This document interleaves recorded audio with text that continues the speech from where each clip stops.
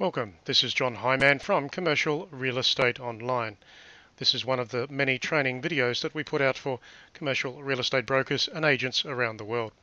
And if you haven't visited our website before, you can do so here, which is commercial-realestate-training.com. And now for this particular topic, this video today. The question is, what is your commercial real estate business plan? And that is at a personal level. I've split the topic up into three separate issues. Firstly, the struggles. In my view, without a commercial real estate business plan, as an individual, you will struggle. You'll struggle with a number of things. So here are the comments that explain that to you.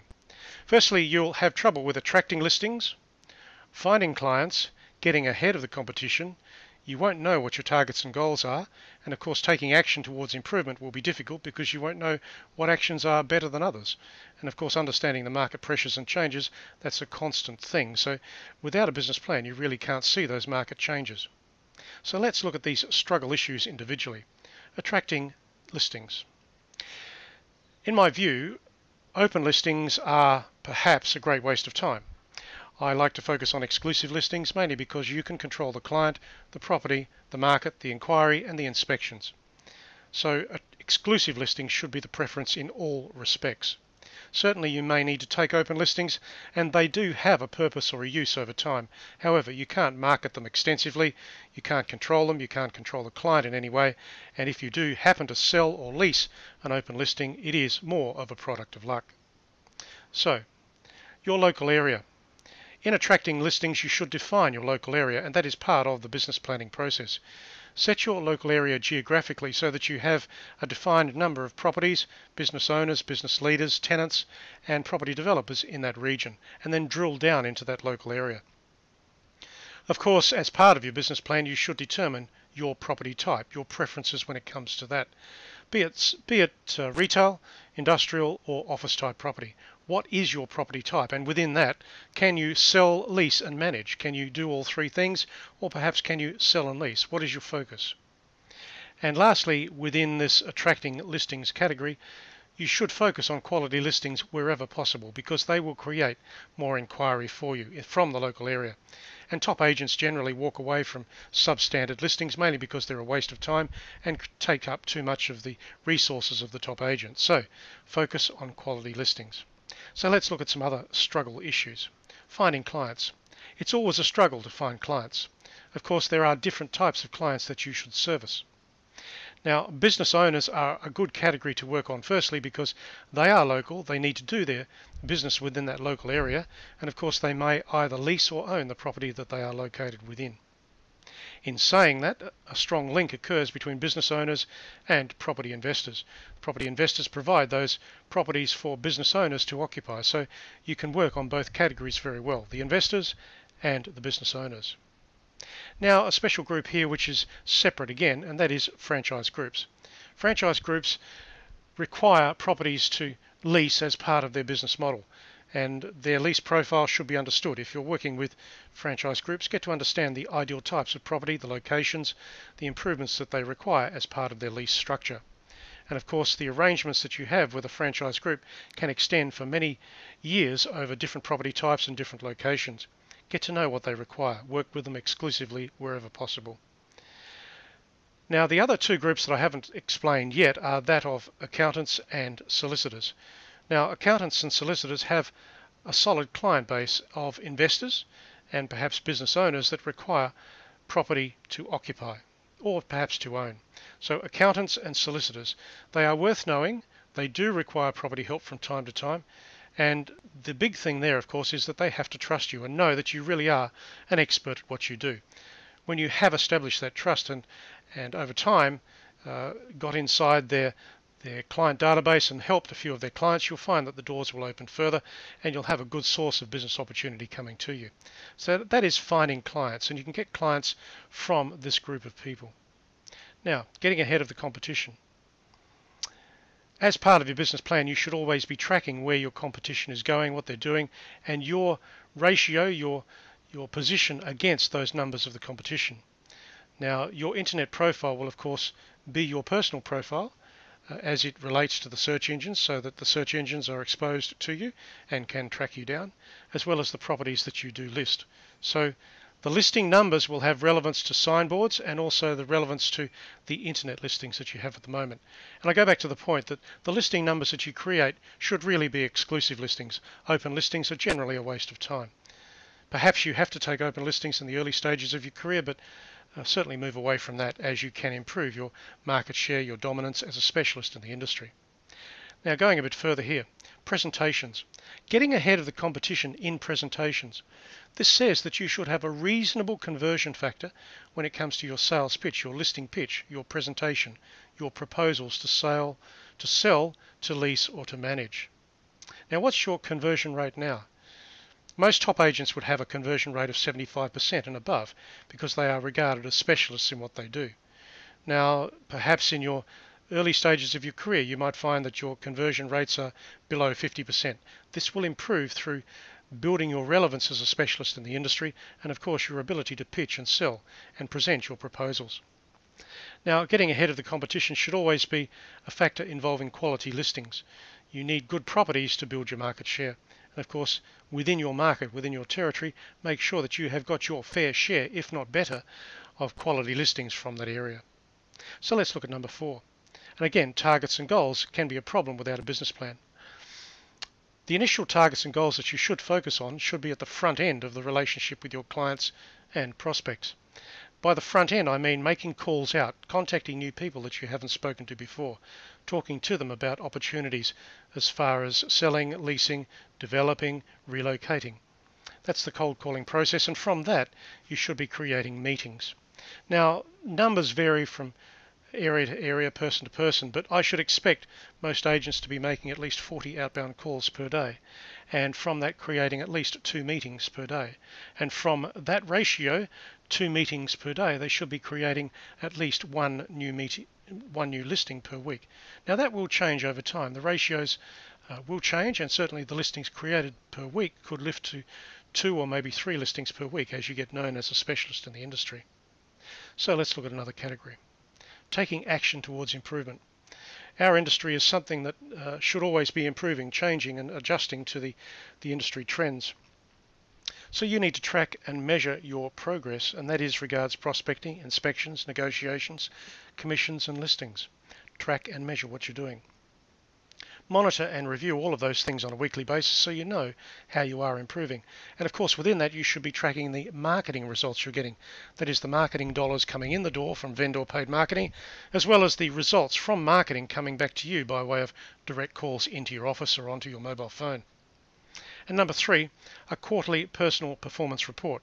Now, that is an important document and should give you an idea of where you're heading. I say quarterly because you will be adjusting that report quite a lot as the year changes and the property market changes. Number five, understanding the pressures and the changes of the market, the market pressures. Uh, there will be ups and downs regards inquiry. Some of that is seasonal, particularly when it comes to Christmas time and certain times of the year where uh, perhaps the climate or the, the property inquiry falls due to demographics and customer activities. Uh, new developments are changing in the market all the time. Understand where the new, new developments are coming and how you can get into that market share. Prices will generally go up or perhaps they may stagnate, stagnate. Sometimes they may fall. So understand what the prices are doing.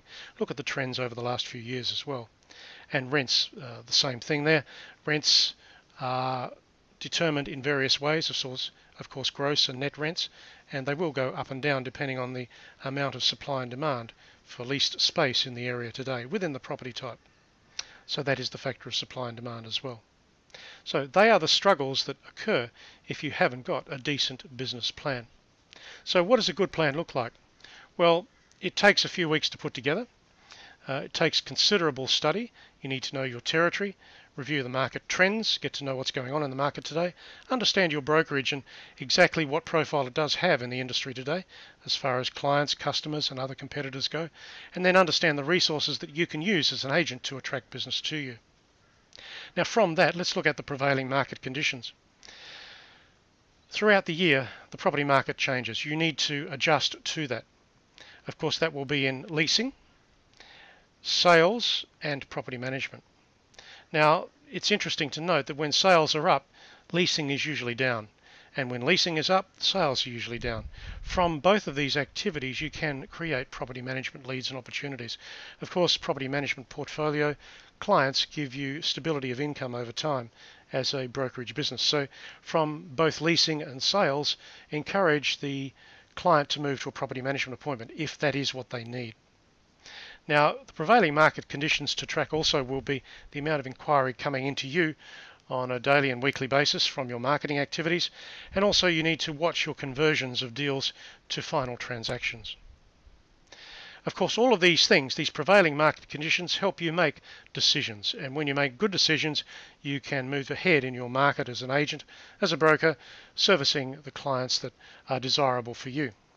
So, Let's look at the structure of a plan, a plan that you can implement into your commercial real estate brokerage, and that is on an individual basis. I put some categories here for you, perhaps you can add to this list, but these are the main ones. Of course, you should start with some form of mission or vision statement to say exactly what you are going to do, the market that you're going to service, and why the market should even trust you as an agent or broker. Uh, certainly, something to be out there selling your services, but if the market really doesn't trust you, it's going to be a hard sell. So make sure that you have all of your bases covered when it comes to your mission and your vision statement, and that it is aligned to your ideal customers who can trust and work with you over time. Number two, define your territory geographically. Now, I'm quite big on this in the sense that uh, you cannot cover a huge area, at least not initially split your area up into say 2,000 properties or perhaps 1,000 properties and then work within those groups until you have that area covered. Then move to the next one. Uh, from each group you will, or from each territory or sales patch, you will create leads and opportunities and you can go back into that territory on a cycle basis. So if you cover a group of say even 250 properties this month, uh, you can go back, back into that area in six months time and cover it again. Uh, the way to win business in our industry is particularly to get back into the same territory or patch on a regular basis so that people get to know you and respect you as someone who is diligent and focused, perhaps persistent, but in a good way. So let's look at uh, reviewing and qualifying the market conditions as part of your plan structure. Look at the last 12 months. You'll need to know what's going on there regards selling and leasing, the conversions of listings, the amount of commission coming out of the market, how many competitors you have at the moment. From that, you can then determine what the future three years might be like. Of course, that will be in relation to your brokerage, but also you yourself, especially in the sense that you will have certain skills uh, that are relevant to a market type. So focus on your skills. Don't try and turn yourself into something that you are not. Of course, look at the market and the client demographics that are ideal for you. If you specialize in something such as industrial property, understand where the market is and the client demographics that you should service. What is the future of industrial property in your city? What do you need to do to get further into that future? Of course, the town or city changes will occur from time to time, and that will also involve roadways, new developments, properties becoming redundant, a vacant land being developed. All of those changes should be tracked through the planning office at your local council or municipal office. Now, number four, what is your property speciality? I won't spend a lot of time on this, but it's a question worth asking. Are you a retail specialist, an industrial specialist, or an office specialist? Once you know, you should drill down into that exclusively so that you can talk about all the variations of rental, selling, uh, the opportunities of new business, how to create a good marketing campaign in that property type, how to create inquiry and inspections. And of course, what services should you offer? That will be geared to the previous point, but in services, you should be offering selling and leasing services yourself personally because they both go hand in hand. A lease transaction today will be a sales opportunity in the future. And of course, from both of those, you can create a property management opportunity. So let's look at who your ideal client may be. Now, I have covered this elsewhere earlier in this particular video, but it's worth mentioning again. Business owners, they occupy the properties that you may service, be it in leasing or selling. Property investors, of course, they need tenants, and that's where the business owners come into it. Uh, developers need land and also buildings to develop, perhaps redundant buildings, perhaps vacant land, and you can work on all of that. And the franchise groups will require certain types of properties to lease or to occupy as part of their business model and expand into within your town or city. Now, the resources available within the brokerage and to you yourself and perhaps to your staff. Resources will vary, and depending on how you are employed within your brokerage, those resources will be either self-funded through your own costs or partly funded through the brokerage. And you need to know what those resources are. Perhaps you have an administrative assistant to help you. That is a good thing. However, it needs to be paid for. So a lot depends on how those extra resources are available and how they are paid for within your business structure. Now, you should have some income targets and some strategies. Uh, define your average deal size. That is in leasing, project development, property management, and sales. When you know your average deal size, you can actually work out uh, the sales by dollar unit value and the lease by dollar unit value. Then, of course, you can then relate to the amount of deals that you can do per year, and that allows you to focus your prospecting within properties of certain size, properties of certain location, and properties that will give you those average units of commission. Of course, property management is a little bit different in the sense that the commission achieved there is on a monthly basis and over time of the property management appointment. So if you are feeding property management opportunities into your brokerage, that's a good thing.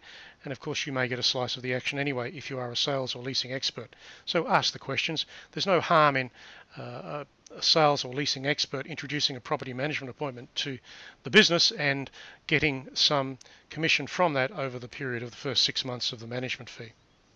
Okay, let's look at the SWOT analysis. Now we all know what SWOT is. It's strengths, weaknesses, opportunities and threats. As an individual, you will have strengths, weaknesses, opportunities and threats. Also, there'll be other issues to consider within that category. Your brokerage, the client base, the database.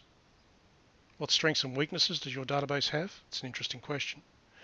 Your knowledge, your listings, the location in which you work, the market in which you work, your personal skills and your resources. Get out a piece of paper. Create four columns, strengths, weaknesses, opportunities and threats. Then go through each of these, brokerage, client base, database, knowledge, listings, location, market, personal skills and resources. When you understand your strengths, you can build on them. When you, when you understand your weaknesses, you can fix them. When you can see the opportunities, you can work on them. And when you see the threats, you move away from them. So that's your SWOT analysis. It's a very important part of a business plan. And lastly, let's look at some key performance indicators. That is part of the business plan structure, and you need to track these things throughout the year. Uh, the number of sales listings that you are creating on a regular basis, the number of leasing listings that are coming to you, and the reasons for that. Of course, a lease will, le will lead to a sales opportunity in future years. Look at the property management listings and how you obtain those property management listings. Perhaps you did a lease deal to get to that. Look at the referrals that are coming to you. Uh, good client relationships over time will produce referrals. Of course, understand how the commissions are coming to you on a monthly basis and compare that to last year. And lastly, look at your market share. And that is in controlled stock, that is exclusive listings, Open listings don't count in my view, however, you might want to count your open listings for some particular reason. Online listings are important and also look at signboards. So that is your market presence, that is your market share. So that is the end of those topics, the topics of a business plan, the structure of a plan, the mission statement, the territory geographically, market conditions, property speciality, what services you provide, your ideal client, your resources, your targets, the SWOT analysis and your KPIs. And of course, they are the factors within a real estate business plan on an individual basis for a top agent. So that's the end of this video. I hope it's helped you with some ideas to get organized and to improve your market share. If you want more tips in uh, the industry in commercial real estate today, you can visit our website, which is commercial-realestate-training.com. Thanks for listening today. This is John Highman from that website. I thank you for listening to this video and by all means subscribe to our YouTube channel so you can get more of our regular videos on an ongoing basis.